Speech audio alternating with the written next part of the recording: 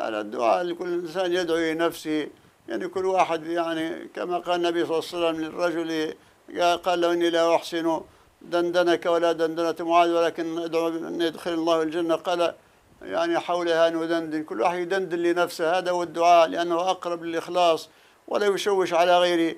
أما ما يفعله الناس فهذا وأغلب أغلب الناس الجهل هم اللي يفعلون ذلك. يبقوا مجموعات ويرفعوا أصواتهم بصراخ كبير واحد يتكلم والثاني يرد عليه. فلا في خشوع ولا في استحضار.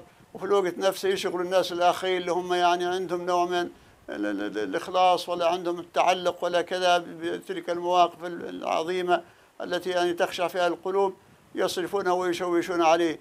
فهذا مكروه الدعاء هذا الجماعي المكروه مكروه ربما قد يصل حتى إلى الإثم إذا كان يعني يؤذي الناس.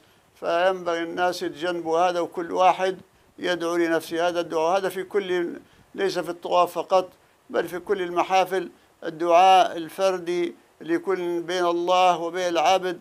هذا أقرب للخشوع وأقرب للإجابة وهو أولى. ولكن الدعاء الجماعي اللي هو بين جماعة يعني حاضرين في مكان قد لا يكون ممنوعا أحيانا. إنما الدعاء اللي يدعو به الإنسان لنفسه بينه وبين ربه هو أقرب للإخلاص وأقرب للإجابة أن الله تبارك وتعالى يقول عن زكريا إذ نادى ربه نداء خفيا.